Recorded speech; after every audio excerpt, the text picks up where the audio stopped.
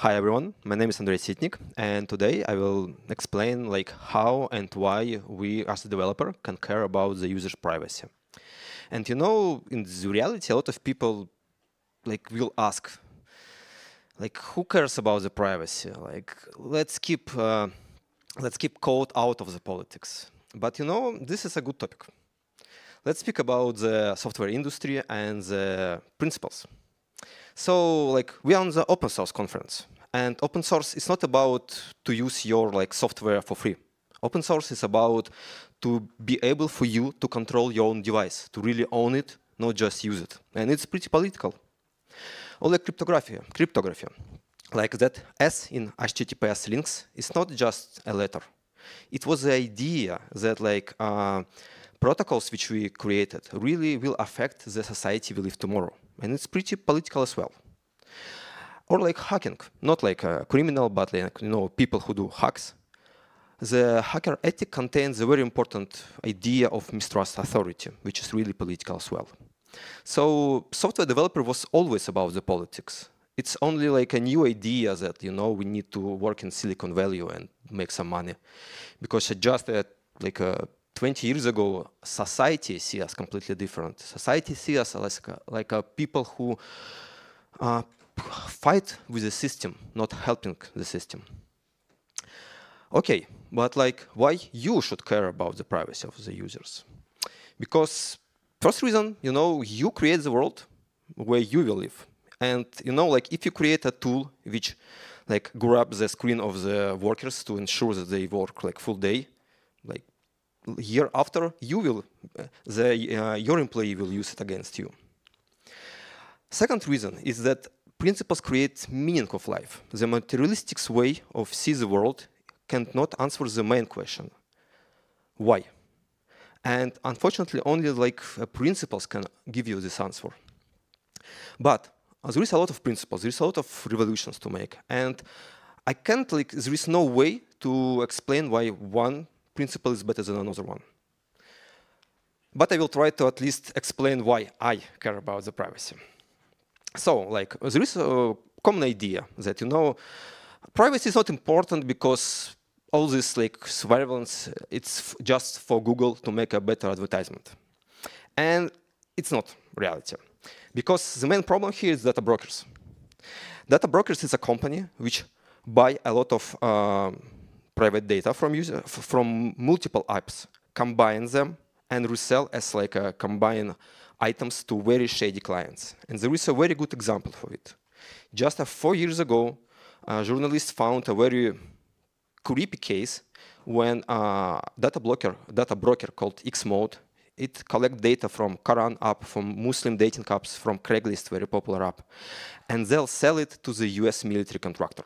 For me, it's extremely shady. Okay, but like it's a bad company, it's a small company, but I'm working in the company which really care about user privacy and we don't sell our data. You know, this is not really the truth because in reality there is an important thing called data leaks or data breaches.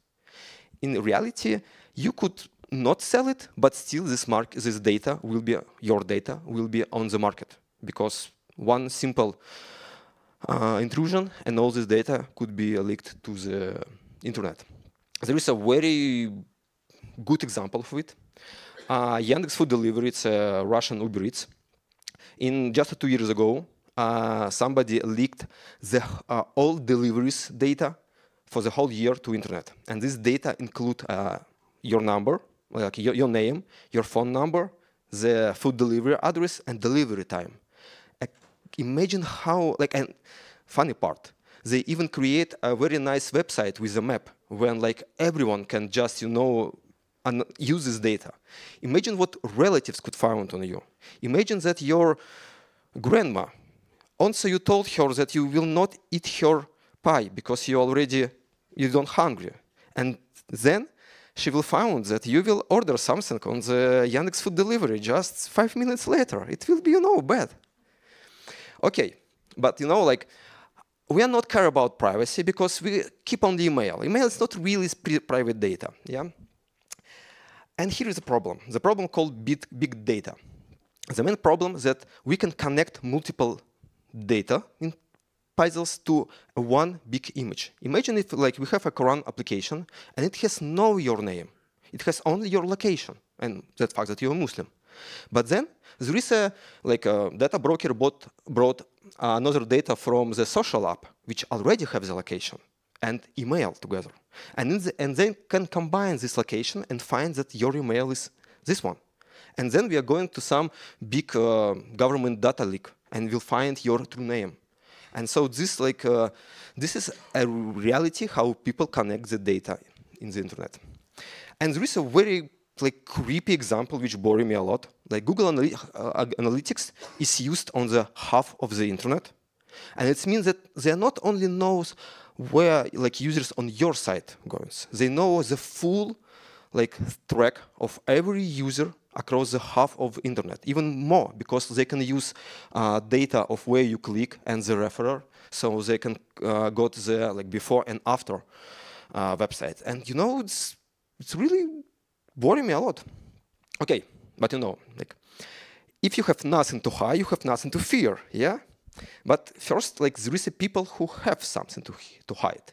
Like, uh, ex-Twitter employee leaked a lot of the data to the Saudi government, and uh, this data uh, put a young woman to jail for the 34 years and old teacher to the death sentence. And if Twitter will not collect this, uh, did not collect this data, they wouldn't be in the jail or like in the death prison, the death sentence. And it's not only, you know, like American and like United States and uh, Arabic country problem, like in Netherlands, just, you know, close by countries, there is a company, Vision Lab, who sells uh, a face recognition software to then find and arrest uh, anti-war Russian protesters. And the main problem is still operational. Like there's no problem. Like it, it, this is not a part of the sanction, you know. Or like even like if we will speak about the U.S. citizen, it's also a problem because like there is a very bad example. It was happened just a few months ago when a Spanish government forced Proton Mail to give them some data, and they used it to put a man to the jail because he was part of uh, Catalan independence protests. But they was completely uh, um, peaceful and they do nothing. This was not a terrorist. But like if it if that example did not convince you because you don't care about other people, there is another argument. If large language model will know your personal data, they will be twice more effective of changing your political views. And you know, it could be it could lead us to completely different society, and I really worry about it. Okay, what we can do? Who thinks that like web become an awful place with all these pop-ups? Like they are everywhere. But you know, we are on the dev conference. And it's not internet became awful place. It's we as, as a developer made this awful place. So, first step. If you have website, please remove GDPR pop-up. But you can say like, you know, but there is a government like Brussels force us to do it in reality, you know, there is no world pop-up in the GDPR law. The GDPR law say only a simple thing, don't track your users. But we are so obsessed with data collections that we can do it. So we like we make our users suffer. So they to like stop this pain will um, confirm with uh, tracking. And you know, I think it's not good, but okay. There is a much better way. First, you are going to GDPR compatible analytics. There is a lot of them. And first, you remove pop-up. And second, you ask uh, personal data permission only in some relative places, for instance, in sign-up form, when user understand why he give you personal data. Uh, and analytics without pop-up analytics, it could cookieless analytics or GDPR compatible analytics, it could do a lot. Of course, it could track the source of the traffic, it could track events, but most importantly, you can still track your campaign, like from the UTM links to the, for instance, uh, payment. You can still do it with uh, GDPR compatible analytics. There are two things you cannot do. First, you cannot like connect all visits with uh, some user ID because this is like tracking by definition you track where user go. And second one, you can do you cannot do a very like bad from my perspective, very shady thing which called remarketing.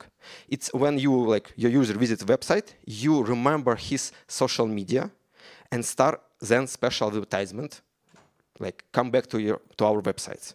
I don't know, like yep, you can do it, but this is shady practice for me. There is a lot of good tracking, uh, cookie-less tracking. Uh, of, but of course, a lot of managers force you to use Google Analytics. But in reality, it's like more tricky because about half of the users press no on GDPR, pop, on GDPR pop-up. It means that your data is not uniform. Part of the data will uh, contain personal data, part of it not, and it's not random. There is uh, reasons why one people goes to one directory and another and other people to another directory. And it means that without uni data uniformity, you cannot trust this data. From my perspective, it's much better to have completely uh, uniform data, even if you have a less data for each person, because you can trust this data. Otherwise, you have data only for the special half part of your users. And this is like not a business, it's just a maniac obsession of data collection. And you know, there's a practice of like, let's just not show the GDPR pop-up for like rest of the people, only for Europe. It will not work because right now we have similar law across the whole globe and it will be even more. And I really believe that we as, as an industry can really change the industry. We already did it when, like, uh, as a web developer, we killed Internet Explorer. And it was even conspiracy in the YouTube uh, dev team when they, like, you know, um, they remove Internet Explorer support without really confirming it with uh, managers, and it forced the whole internet to switch because this like one, um, you know, uh, one revolution make a big fire. Then reduce the data privacy data processors. I mean, like you know, when you go to the GDPR pop-up uh, and you see the real number of like, partners, and you know, we really care about the privacy. Uh, because every company which you use, which like has an access to the users, could have private data of these users. For instance, public CDN, for instance, mail service, etc. Every service. And what do I suggest? First, I suggest to not use public CDN for JavaScript libraries. It's really bad practice for the performance as well. Also, don't use CDN for the fonts. Try to self-host as much as you possible. It's not a problem. It's sometimes even cheaper. And try to combine uh, multiple features on the same platform and not like use each like new platform for every new feature. Sometimes 5% of the features is not like worse for the, the problem of the privacy. But the most important part here, it's local first. This is what I really believe and love. But it's advanced step. It's only for the new projects or very hard refactoring. We have like, initially we have local only software when everything was on the, your machine and it was no privacy problem there. But then iPhone. And as a result, because every user start to have uh, two devices, we start to use cloud. And by using cloud, we start to have a privacy problem because now there is a central place with all users' data. But there is a third way, uh, which I would suggest to you. It's a local first solution. It's a solution when we keep users' data on the device, but still we use server to synchronize this data. So we are not going to the past. We still have all modern features, but just with a better privacy. So uh, this idea was invented in Ink and Switch. Uh, there is a very good manifesto. I highly recommend to read it. It has seven ideas. My favorite one, like snow spinners, uh, offline first, like collaboration, conflict-free, etc. But I will explain this idea on the example. There is a Notion, very popular tool to make notes. But all your notes in the cloud, they can read everything in comparison, there is a competitor called uh, Obsidian, which keep every all your nodes locally, not just locally, but in Markdown files in one folder, so you can edit it with any text editor. And you, they have a server to synchronize your data across the devices, but it's optional. You can use GitHub repo, you can use any cloud provider, I, um, iCloud, or you can use your own script. And this is a very good example of how we can make a new type of software. But it doesn't mean that every local first software should be like in this way. Of course, sometimes it's impossible to allow the user to choose the synchronization server. So like local first is a spectrum, it's not an on-off switch. We are welcome to you even if you start to just have a big cache on, on the device. It's still a very important step further. How to do it? I will explained from the perspective of the web development, but it's pretty similar for the any other systems. So in local first, we have all data on the device. We can use we can use cloud, but it's optional. It means that we need uh, we will have about 50 megabyte or 500 megabytes data on the clouds. And it means that we have we need to have a very good database with good performance and rich query language. Of course, if you're a desktop developer, it's not a problem. But in the web, it's uh, more tricky. But there is a solution. There is a tool called WebAssembly. It's a way to compile any C++ program to, for the browser. And there is a SQLite port to the WebAssembly. And you, right now, you can run SQLite in the browser. It's not a problem. You can even run a Postgres server in the in the browser. You can even uh, add a custom extension to this server, but it's in the development. So I highly recommend right now SQLite. They use two APIs. First, it's called uh, origin private file system. It's a way for browser to like create a folder to the website and give this folder to the, your JavaScript. But another way, much more popular right now, is IndexedDB. Funny part, Firefox use SQLite for IndexedDB. So like when you put SQLite to your website, it stores the data in IndexedDB and it stores in SQLite. So you put SQLite inside SQLite. Funny part, it's still much more, it's much faster than just using IndexedDB because like IndexedDB is not a very good database. But then, then you need to have a log, a list of operation what user actually did. And uh, on the interface, you have a reactive store, some, I don't know, object, which will just initialize, initialize from the SQLite, but it will update from that log. Every time when something add an action to this log, it will update the stage, uh, it will update his uh, state, and it will update user, uh, user interface. Uh, why we need this log? Because we will use this log for synchronization, and also it's very important to not like to be sure that you can uh, to separate writes and reads so everyone can write. For instance, other browser tabs, etc. Then you need two uh, passwords for for user. One will after authenticate you to the cloud, and second one will create encryption channel, so server will not be able to read anything. And the funny part that this architecture, which we created just because we have principles, give us a very material benefits. First, it's very simple to write server because server do nothing almost. Second, you don't need server on the prototype sta stage. And it means that you can start early and get money earlier. It's always good for business. Third, it's very cheap to scale because uh, every time when you have uh, more users on the classic architectures, the server will like have a more load. But in the local first, the clients will bring their own uh, power. No, no private data, no leaks. And it's much easier to develop because you separate synchronization code, networking, network, uh, network errors processing, and the business logic. And the most, my favorite one is that you, you have a zero latency because every, every data is here locally. And there is a lot of frameworks to do it in the JavaScript. But unfortunately, all these frameworks is not really production ready for every website. Reality. It's still it's good for some cases, but as a second problem, migrations. It's hard to, use to run migrations on the servers, but it's much harder to use it on the clients. And if you use end-to-end -end encryption, there is no password recovery, because like you know, great privacy comes with great responsibilities. But again, local first is not a spectrum. If you can't implement the end-to-end -end encryption, it's still okay to just have a very to just keep data on the client. It will be still local first. And there is a good example, good businesses like Linear. A lot of people like them because they are fast, and they are fast because of local first.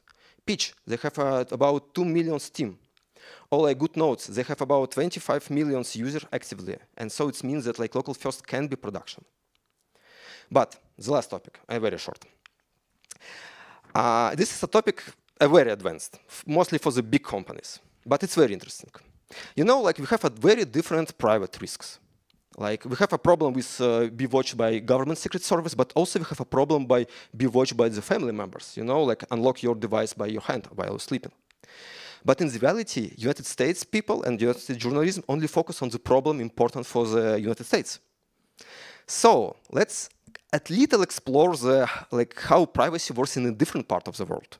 For instance, because the main problem that sometimes when you work with one risk, improve the, like, reduce the one risk, you increase the another risk. For instance, I made a news feed uh, reader where you can re read news.